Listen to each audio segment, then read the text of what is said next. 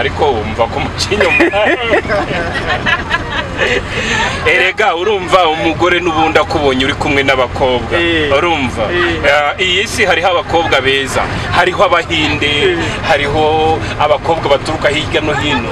Urumva ko ubonye ukoranye indirimbo n'umukobwa akabona muri mwambaye. Urabizi kugira ngo videwo ibe nziza videwo nyine abantu bayirebe. Ni uko ukora videwo ikaba irimo umukobwa mwiza nyine.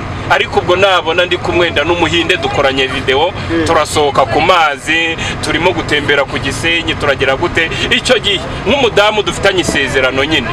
Ahita agenda agatanga ikirego ati ati nimurebe. Ati ari ku ari ku mazi ari ku kibuye atari kumwe n'abakobwa bambaye amakariso gusa. Kandi urabizi kugira ngo indirimbo ijye hiti ugomba kugaragaza ubwiza bw'umukobwa. Ariko umukobwa nawe akaba yambaye agasutiye wenda yambaye n'agakariso ariko se ntimwabibonye ku ndirimbo nyinshi. Eh, na- abandi barabikora ubundi mu ndirimbo ushyiramo umukobwa mwiza kugira ngo indirimbo ikundwe. Kugira ngo utakoreshaga umugore wawe ntabwo yari mwiza. We yavuze ko adashaka kugaragara imbere y'itangazamakuru. Eh. Eh, ngo ntabwo abishaka rwose niko yambwiye. Naramubwiye nise ko mfite indirimbo nziza? Eh. hari indirimbo nigeze gukorera ah, miss josiane. Ni indirimbo yahetinze agapera kayo agapera Eh. josiane arabahiga bose ni namburi ni superstar mu wa mbere okay abayishaka abayishaka bazayisanga kuri youtube. Eh, muzandikaho josiane by lucky fire okay ni nziza cyane kabisa. Eh, noneho ndagira ngo tubwire agahinda wagize k'abantu batagusuye. Utubwire n'imibereho wagize muri gereza. Umva njyewe reka nkubwire. Ko njyewe nafunzwe icyumweru icyumweru n'igice. Urumva? Abantu twasangiraga inzoga. Bari benshi cyane urumva? Hariho bari bafite n'amazina akomeye cyane. Ariko nahise mvuga ni ubwo maze icyumweru n'igice nkabona nta muntu ngezeho. Numvaga nanakiberaho na njyenyine tu. None se ubundi inshuti itagusuye wageze muri gereza ubundi yabikumariye iki? Urumva? Inshuti itakugezeho ngo ikuzanire utuzi ikuzanire ikuzanire akenda ko kwifubika ikuzanire udukoresho umuntu. Muri gereza umuntu aba akeneye udukoresho twinshi. Uba ukeneye ikiringiti uba ukeneye ikote kugira ngo ubeho neza ugire gute uticwa n'imbeho. Ariko nk'inshuti itakugezeho mu bihe bibi nk'ibyo ngibyo. Urumva ni gute wowe wa- wakongera kuvuga ngo uricarana nawe mujye kusangira amazi? Wenda urugero njye nari umusitari. Hari abasitari njye nasuraga muri gereza? Urugero nka jempoli. Jempoli nawe ni umusitari yarera yatwaye gumaguma. Niwe wari wafunzwe mbere yanjye. Jempoli buri wa gatanu najyaga kumusura hari imageragere nawe uzamubaza azabikubwira. Buri wa gatanu. Ah, ndabizi se niba atarabimenye. Ariko se yabiyoberwa gute? Gufungwa kanjye byaciye ku maradiyo ku mateleviziyo. Ibinyamakuru bitandukanye ibyo hanze y'u rwanda ibyo mu rwanda amateleviziyo atandukanye. Yarabyanditse barabivuze. Ba dekati barabipositinze urumva? N'abandi benshi cyane baragiye babipositinga nawe yarabimenye ariko umenye ko jempoli buri wa gatanu najyaga kumusura hari imageragere urumva? Nkamushyira udukoresho mwandikisha n'amafaranga kuri resebusiyo. Uzanabaza amafaranga nandikishaga amafaranga menshi kuri resebusiyo. Nkavuga ni jempoli icyo azajya akenera ajya agenda muri kantine bamuha icyo kurya n'icyo kunywa. Urumva? Ariko ngewe mfungwa nk'umusitari ba- abasitari bagenzi banjye barantereranye. Ariko bundi n'ubundi bibiliya yaravugaga ngo nzakubita umungeri intama zidataniye Tusa nk'utubwira ubuzima wagize mu cyumweru n'igice wafunzwe wari ubayeho uta muri gereza? Ah, umva nkubwire rero. Biba bikakaye nyine biba binababaje. Ririya aba ari ishuri.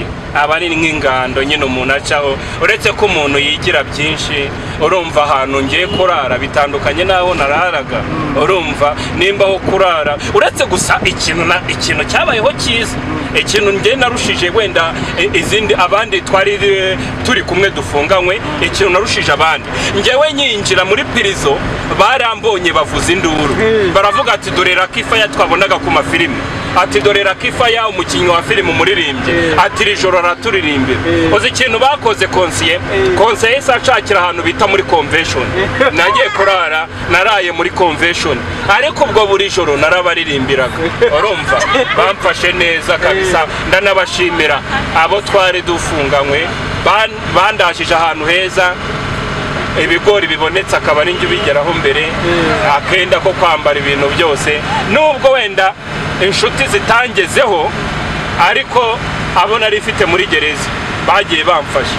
Ariko inshuti zanjye zo hanze kabisa zarampemukiye none se Eh. Lucky niki cyatumaga u- uca inyuma umugore wawe? Yewe reka nkubwire ubundi kuntu urumva umugore ashobora kukubeshyira ngo wamuciye inyuma Eh. kandi utanamuciye n'inyuma. Eh. none se kuba ndi kumwe n'umukobwa wiyambariye akajipo kagarukiye hano.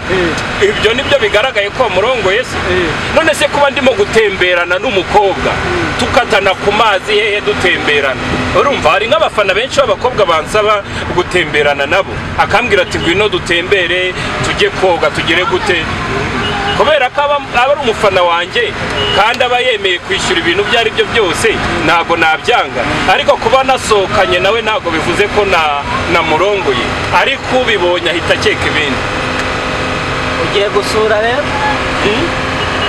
Ngiye nawe ni gusi- abagusuye ok kuba ngiye gusura inshuti ni ukuvuga ngo kuba ngiye gusura ah, ni abantu harimo mubyara wanjye harimo abo abo mbese bo muri karitsiye z'iwacu Eh, ubundi ngewe nigirira ubushuti bwo kwisurira abantu bafite ibibazo abarwayi kwa muganga abantu bameze nabi abantu b'ibimuga. Ni na yo mpamvu yesu yesu yari afite ubukwe. Urumva?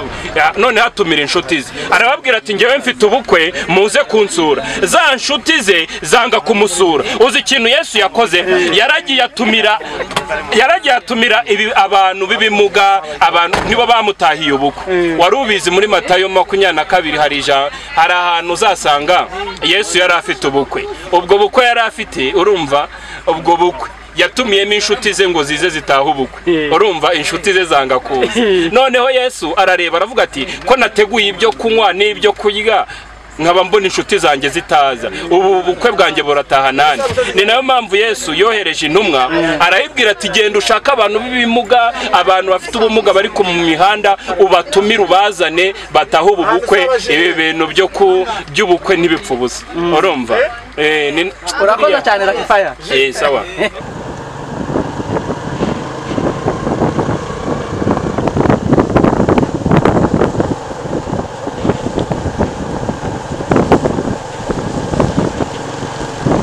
urahagarara genda gahoro batunyureho.